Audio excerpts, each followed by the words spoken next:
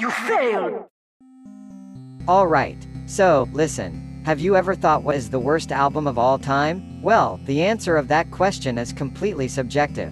It's impossible to get in a consensus over which is the worst album of all time, but we can get one idea of what it might be based on the opinions people post on the internet. And there is this one website called rateyourmusic.com. In there, you can give scores to the albums you've listened and write reviews, and in one of the tabs of the site, you can check the most beloved albums by the users of the site and also the most hated albums. And for today's video, I'll be listening to the 10 worst albums of all time according to users of Rate Your Music. Why? So I can keep you from the curiosity of passing through this suffering. And also because I'm an idiot and I like to suffer. Help me. Here's how I'm gonna do it, it's gonna be a countdown. I'll be talking about the 10th place first and gradually we're gonna get worse and worse. This is not a WatchMojo episode, because I didn't make the list. Thousands of people on the internet did. So, now, no more stretching, let's do it. Mom, mom, mom, mom, memes. Mom, mom, mom, mom, memes. Mom, mom, mom, mom, Alright, so, this is the album that is in 10th, it's Daddy's Boy Into the Closet Part 1. Before talking about this album, I actually want to introduce the album that's in 9th place too, because I wanna talk about both albums in the same context before actually talking what the songs inside of those are like. So, here it is.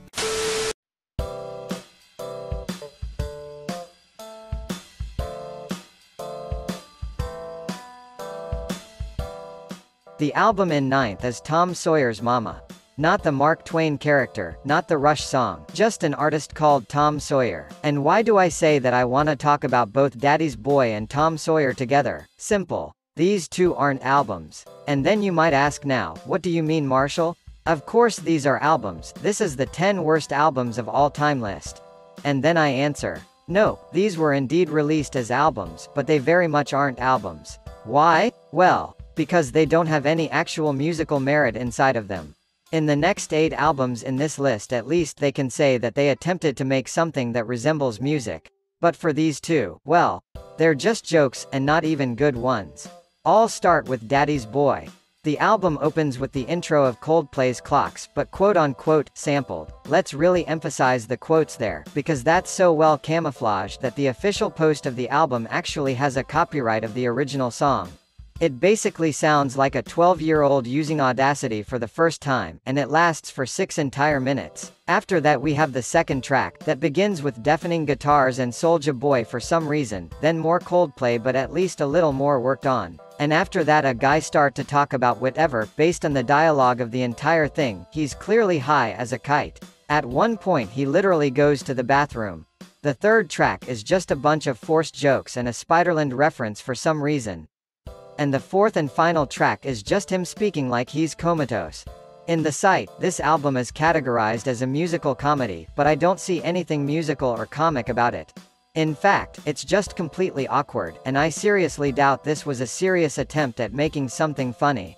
This is just plain lazy stuff that its author just did for attention. Which brings me to Tom Sawyer once again, in a similar style to Daddy's Boy Into the Closet. Momma has no music being made, it's stolen tracks in the background with the title of the track being repeated over and over with a bad microphone. After the intro of the album that was most likely stolen, the actual first song of the album begins. Smash. That's the Smash Bros. Brawl theme under the exact same circumstances I just explained before.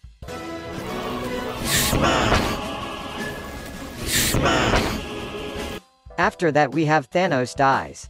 Again, exact same thing but with a song that I couldn't recognize.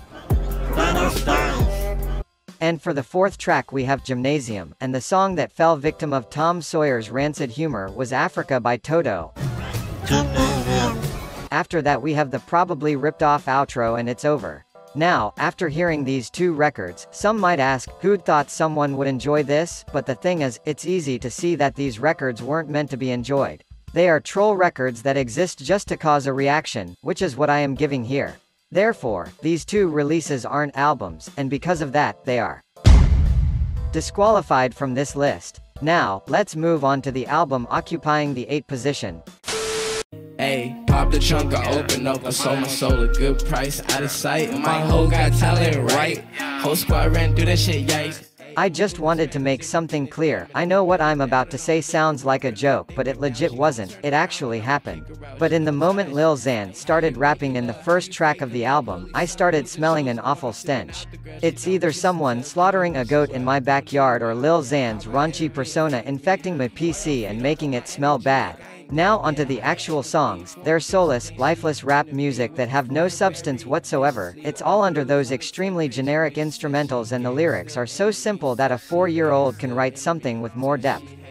Some songs here have feats, and those feats are easily the best part of the entire song. The only featless song in the entire album that is okay is Saved by the Bell because the beat is passable. And if you want details on how Lil Xan's vocals sound throughout the album, I can only say. He speaks like he's about to pass out through the entire album, which I don't doubt it was what was actually happening during the recordings.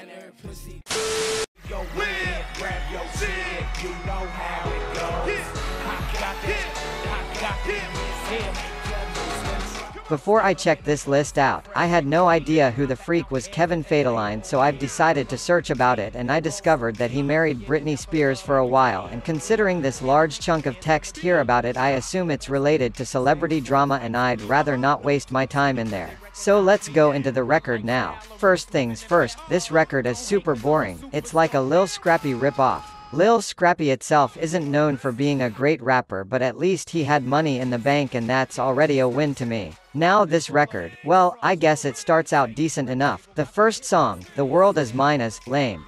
America's Most Hated as, okay and all, overall until like the seventh track this album keeps being just a dull stereotypical rap album with no substance. The only actually good thing I found there is the beat of Lose Control, that's actually quite good and it's sad that's being wasted in a Kevin Federline record. Anyway, after that there is a bunch more songs, but since they have nothing that sets them apart from the rest of this record, your ears start to get numbed from it all and it all starts to sounds like noise and you just keep thinking, how long is this? And when it finally ends you go listen to like some Mobb Deep to recover your mental sanity. Overall at least to me, I don't think it's a terrible terrible album, Lil Xan's record was much more obnoxious. This record may have only got this much rage upon it because of whatever drama he got involved with Britney Spears, cause it's definitely not in the bottom 10 of all time. Maybe like the bottom 500.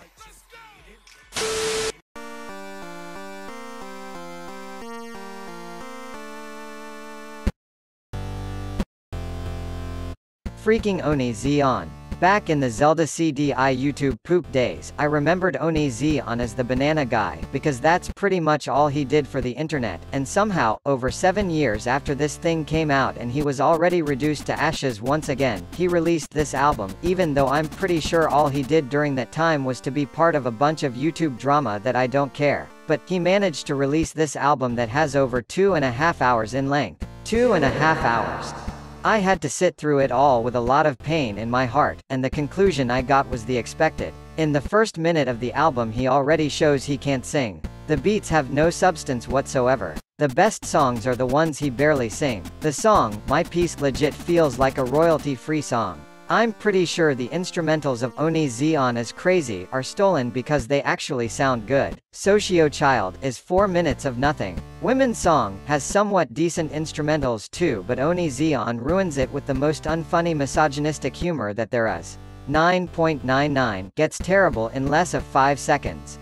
And most importantly, the way he tries to force as I'm a banana meme that we all already forgot is just sad. 80% of the songs of this records is him trying to be funny and failing miserably, and the other 20% is songs that are so low you can't hear them. And by the way, most of the songs have terrible instrumentals, and the few ones that have good instrumentals are ruined by his singing. He sounds like a drunk man in the karaoke at 3 a.m. By the time I reached half of the album I simply gave up and starting paying attention to the songs like I paid attention in the chemistry classes in high school. But apparently I wasn't the only one because after track 42 he clearly gives up too and the next songs legit feel like they were made by AI due to how lifeless they are. I honestly don't know what I was expecting when I started hearing this album but honestly this album made me feel dirty. I took a break to take a shower after I finished this one. So I could feel more ready for the next album. Talking about it.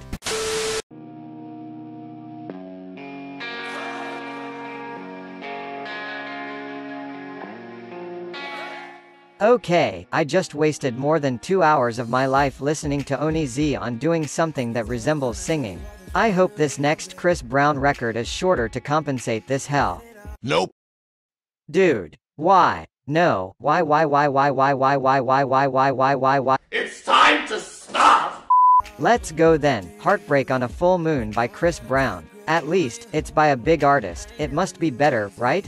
Well, it's better, but on very big quotation marks, just because it has a bigger intent of being played on the radio. But it's clearly not well done.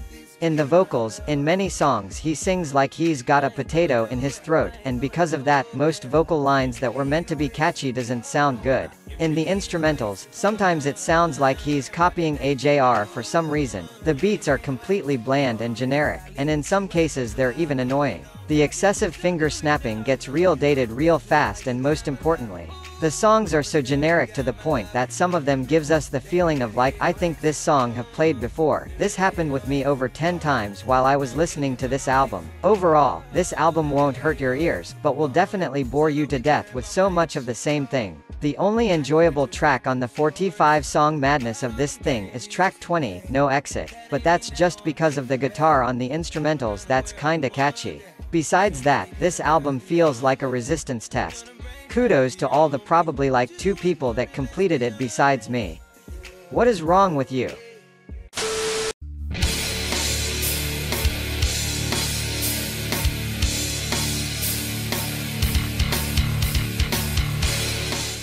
Right, so just like Kevin Federline, I also had no idea who the hell Ironic Punishment Division is. And apparently they're a one-man stoner metal band.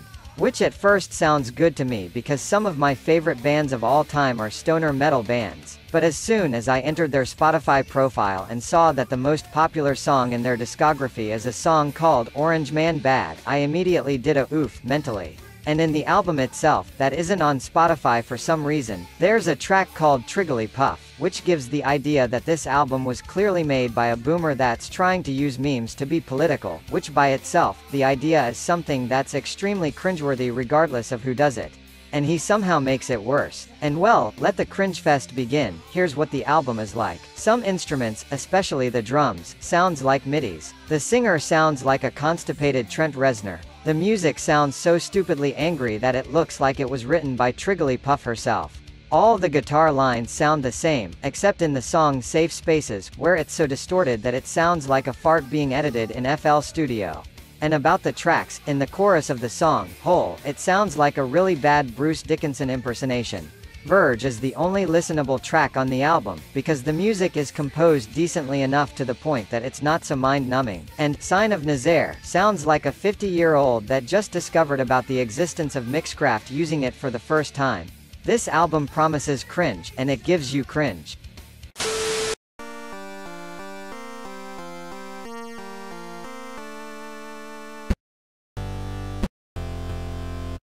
Okay, now this is already getting ridiculous. Onision. Again dude? Why don't you, you know, try to do something that you're actually good in? I already reviewed you once, I don't wanna keep with this kind of suffering once again.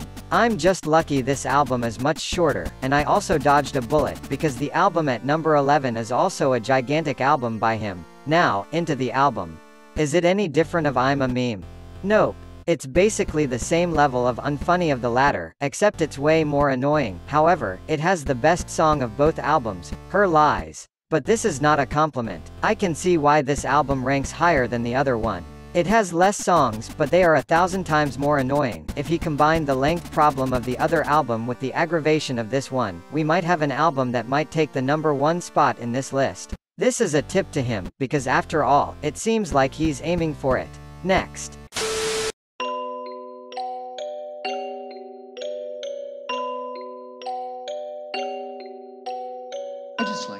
Alright, so for an album to be here at the second spot, it must be rotten. I was genuinely kinda hesitant to listen to this one. Tom MacDonald, I never had heard anything by him. I just know him from his song names that tell very evidently that he's a white trash rapper. So well, I said I had to listen to it, so I did. And, guys, how is this second place? No, for real, is it just here because of White Boy? Cuz dude, this is actually the best album in the entire list. Is it good? No, not really. but compared to the previous 8 albums this is actually decent. It has some good lines here and there. Castles is easily the best song I've heard in the entire list and I honestly saved it in my playlist. It has a nice emotion, great beat and his performance is well made. But in the whole thing, I do understand why it's hated. He ruins it when he goes ultra political, but when he's not in that stage, the songs vary from average to okay. The beats are boring and it's an overall tiring album to listen. But come on guys. I have no idea how the heck this album is in the bottom 100, let alone the bottom 2. Was it all only because of White Boy?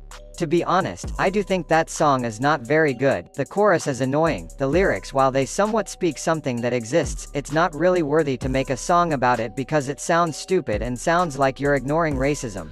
But I've decided to rely on reactions of this song to see about it, and in general, I've seen a considerable amount of black people fine with this song, so if them are into it, and seeing it as truth, then I guess it passes, but I'm still kinda smelling a rat there. But in the overall, that's like a 3.5 out of 10 album. There's much worse around. Talking about much worse. It is time to talk about the worst album of all time according to Rate Your Music. That is,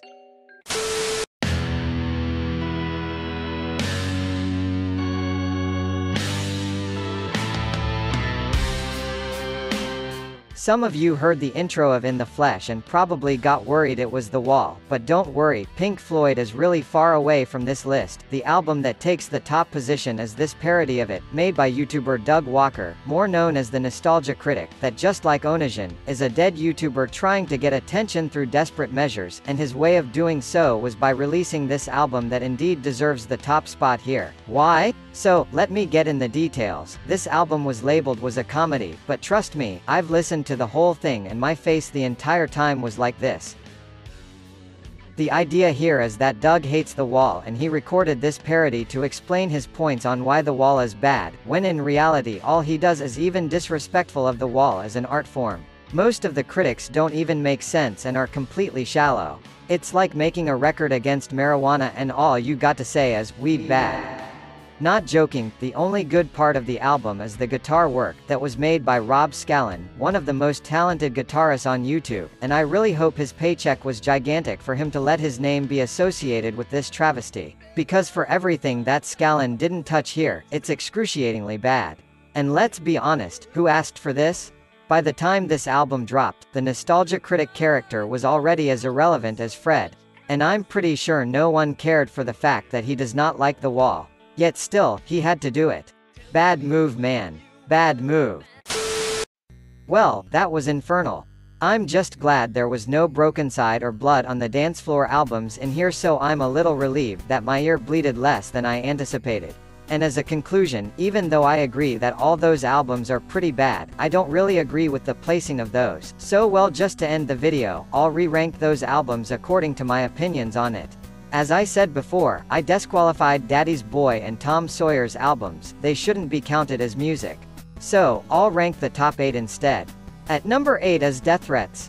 That album is seriously not that awful, it has two good songs in it and the rest is either boring or cringe. At number 7 is Playing with Fire, Again, not the worst thing in the world, but incredibly dull and awkward. The beat of Lose Control is pretty good though. At number 6 I place Heartbreak on a Full Moon. This is the first album so far that I legit believe it deserves to be in this bottom 10. It's pointless and torturing. At number 5 it is Total Xanarchy. It's pretty heinous but the feat saved it a little.